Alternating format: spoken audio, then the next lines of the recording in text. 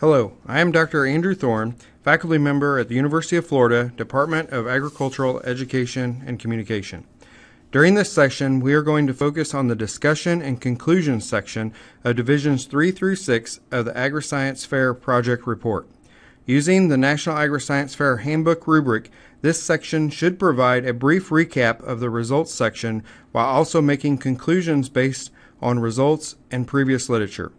The discussion section will reference any facts and figures in the results section while making recommendations for future research and noting the impact that the findings may have on the agricultural industry. The hypothesis should also be addressed and how the results impact the hypothesis. No new citations should be introduced in this section.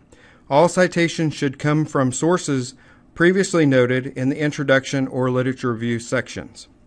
As you can see in this example, Phrases indicating conclusions being made are highlighted in yellow.